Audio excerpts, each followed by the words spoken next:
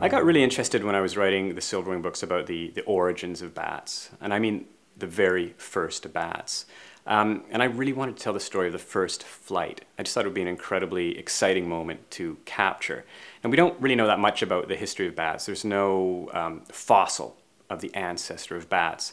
So it gave me an opportunity to create my own creature. And I call them chiropters in the story. They are um, like bats, but they don't flap, they glide from tree to tree and eat insects in the air.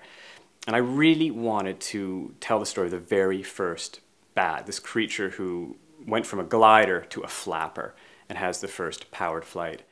Well, the book is set in the Paleocene era, and that's about 65 million to 55 million years ago. And it's an incredibly interesting time. It follows from a period called the Cretaceous. And at the end of the Cretaceous, um, there was a mass extinction event. Most people think it was a, a, giant meteorite that hit the Earth around the Gulf of Mexico and blew up a big cloud of dust, which blocked out the sun and uh, basically eradicated a huge amount of, of animal life on the Earth. So it killed the dinosaurs. Now the Paleocene followed right after that. And what happened is the mammals, which previously had been really small uh, animals, a lot of them lived in the trees, um, they had no predators or fewer predators with the dinosaurs gone and they were able to reproduce and become more and more numerous and they sort of took over the earth at this point. So the paleocene made an amazing backdrop for the book because everything is changing. I got to write about the, the last dinosaurs but also the first uh, carnivorous mammals. Research is important to me. I really want to create a credible world for my readers, and that means knowing about the, uh, the flora and fauna, you know, the plants, the animals. I want to know about the climate of the world I'm writing about. Because even though the books are fantasies, um, for my readers to buy into this world, they have to believe in the, in, the, in, the, in the groundwork and the foundation of what I'm writing about.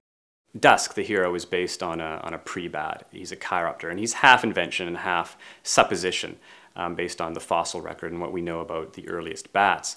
And the other main character is a, is a cat, uh, early cat called Carnassial. And he's based on a prehistoric creature called uh, Miacis, which was really the, the father, if you will, of, of the dog and cat families. He was the first mammalian carnivore. And so I thought it was interesting to pair Dusk, the first bat, with the first cat because they take parallel journeys in the book. They're both, uh, they're both outcasts because they do things differently uh, than all the other members of their colony, and they're really considered freaks or, or mutants in a way. Now in Silverwing, there's a lot of mention about um, the great battle between the birds and the beasts. It's part of the bat's history, and it explains why they fly only at night, why they're not allowed to see the sun, why there's this smoldering war uh, with the birds and the beasts. And that, to me, was an interesting story to tell. So by going back, back, back in time, telling the story of the first bats, I got to sort of explain the history or mythology of the bats in the first three books.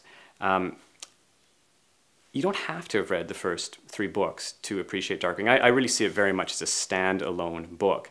But of course, if you're familiar with the first three books, uh, it will be more sort of more intriguing because you get to see how all the alliances and how all the animosities um, in those books sort of formed in the world of Darkwing.